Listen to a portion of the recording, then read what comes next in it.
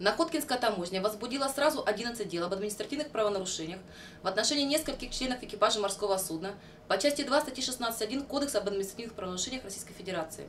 Сокрытие товаров от таможенного контроля путем использования тайников или иных способов, затрудняющих обнаружение товаров. При таможенном досмотре судна, прибывшего в порт Находка из японского порта Таяма, обнаружены несколько тайников с незадекларированными товарами, которые были сокрыты в межпотолочном пространстве. Как выяснилось, 1115 бутылок алкогольной продукции объемом 1620 литров, 415 пакетов кофе, а также разнообразные товары народного потребления пытались незаконно провести члены судовой команды. Ориентировочная стоимость товаров составляет более 700 тысяч рублей. Нарушители закона ждет наказание в виде штрафа с возможной конфискацией товаров.